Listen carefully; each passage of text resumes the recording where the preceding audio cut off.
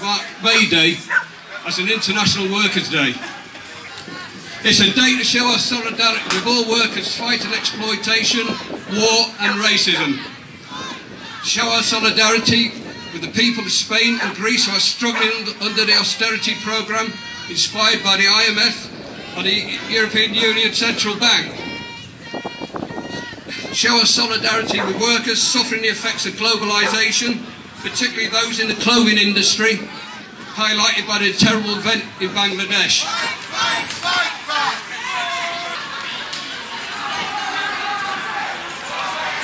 and there is a storm coming up and there's pressure building up and basically there's a responsibility on all of us to build a proper political alternative. I don't think there's anybody nowadays uh, doesn't know that austerity is just a fancy word for an unremitting and merciless class war against the vast majority of the population in the interest of the ruling elite. Last year, almost 330,000 people used a food bank. One in five mums skip meals to feed their children. People think they can do anything it's because we have to address this. An International Workers' Day, we have to be honest, is because of the crisis of leadership in our own movement. There's nobody in the main political parties speaking out for the vast majority of the population. Um, yesterday was a, a great day for my branch.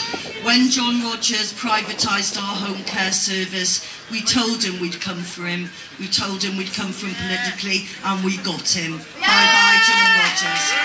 Bye-bye, John Keeley, and bye-bye, Steve Comer. We'll miss you. I'll say to Dave Prentis of Unison, who said just at the end of last year there was going to be a Unison Spring, and they would break the pay freeze. Dave, it is spring, and it's now time to join together and to break the pay freeze and to defeat austerity. The Tories tried to use the Staffordshire scandal to attack the NHS. When they when they tried to close that A&E, 30,000 people turned out to defend it. And the NUT is getting off its knees, along with the NASUWT, and we are launching a series of strike actions. So the message to Ed Miliband and to some union leaders is this. Whose side are you on? Are you on the side of the millionaires or are you on the side of the low paid? Are you on the side of the privatisers or are you on the side of the public sector? Are you on the side of the bankers or are you on the side of working people? We are an organisation that opposes all cuts, no matter who makes them, no matter where they fall. That is a position of principle. Ordinary people should not be paying the price for a crisis we didn't cause. And then on the November, there's going to be a national strike. And by that time, we hope other trade union leaders will have seen our fight as their fight and we'll not be on our own in November. We'll have other unions with us.